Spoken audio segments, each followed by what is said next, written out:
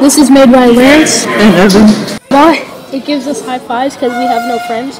But basically, the concept is you just click on the robots panel, you click the button that says uh, program C, and there's no space in between because we're not very smart people. But like you pr- you press the button that says project C, and then the eyes pop up, and then you press the red arrow looking button. It sounds like this. Yeah, you click that. Oh shoot, brother. and then you click you click that, and then it goes, and then it gives you high fives. No low fives here. We changed that. But yeah, it gives you free high fives. So hope you guys enjoyed our robot. Bye. I did. I said we're not together. That's not breaking up with him. You're saying I'm not. And then we'll just do this for 10 seconds.